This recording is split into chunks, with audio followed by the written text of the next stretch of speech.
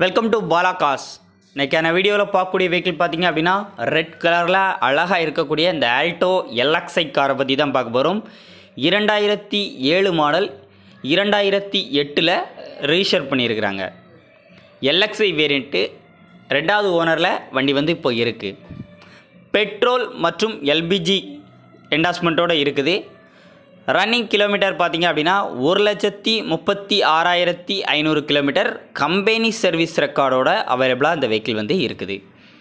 Insurance பார்த்தீங்க அப்படின்னா இருபத்தி ஏழு இன்சூரன்ஸ் இருபத்தி ஆறு ஏழு ரெண்டாயிரத்தி இருபத்தி ஒன்று வரைக்கும் இருக்குது. இன்சூர எக்ஸ்ட்ரா இதில் ஆக்சசரிஸ்லாம் என்ன இருக்குது அப்படிங்கிற மாதிரி பார்த்தோன்னா ஏசி வந்துடும் பவர் ஸ்டேரிங் வந்துடும் அண்ட் இதில் எக்ஸ்ட்ரா பார்த்தீங்கன்னா உங்களுக்கு சீட் கவர் போட்டிருக்கிறாங்க. நியூ சீட் கவர் போட்டிருக்கிறாங்க.